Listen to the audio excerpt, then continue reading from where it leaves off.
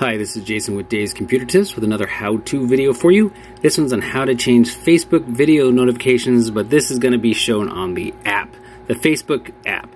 We did last week, I did it on the website, and I talked about doing it on the app, and I'm doing it this week for you guys, so you can see how it's done on the actual app. So we're going to change the video notifications on Facebook using the Facebook app. But before we get going, hit the like on this video, it really helps our channel. Also hit the subscribe and the notification bell so you don't miss out on any new videos I come out with every Thursday. I mean, every Thursday I've been pretty regular, so you're going to get that. All right, well, let's get this started. First thing you want to do is you want to go to your Facebook account, which if I tap that right, I already have it open. So here's our Facebook account. Once you're on your Facebook account, on the home screen, you're going to look to the top right for your profile image, which is right up here. You're going to tap on that. And then once you're on your, um, once you're in the next menu, you're going to want to swipe down if you need to. But what we're looking for is settings and privacy. So we're going to tap on that one. So it's going to open up this menu, which gives you a ton of choices. But what we're looking for is settings. I'm going to tap on settings. And then you get to here. This is the settings and privacy menus.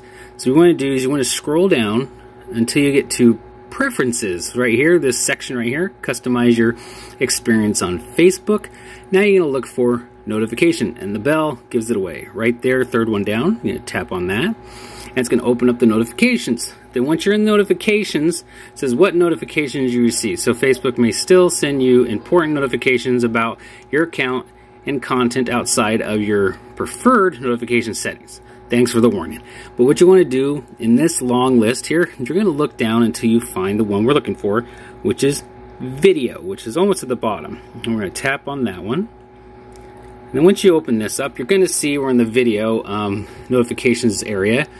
These are notifications for when people or pages you follow broadcast a live video, here example. So there's stuff right here. So this is just a little different than the one on the website, but this is a good way to figure it out. So if you don't want to allow notifications on Facebook, you can actually turn that off if you want. And it will actually ask you at the bottom if you tap that. It says you won't receive them on Facebook by push or whatever. I'm going to say cancel. But you can do that one by tapping turn on, or you can just go here where it says where you receive these. So if you have this turned on, these are the where do you want push notifications, which is normally like you get a, you, I think the push notifications when you get a little tiny ding on your phone. That's a push notification. In my emails or SMS, which is your text messaging. So you can get text notifications. I don't really like that. I don't know if you do, but it's on. And I, I actually, maybe I do get them. I have it on.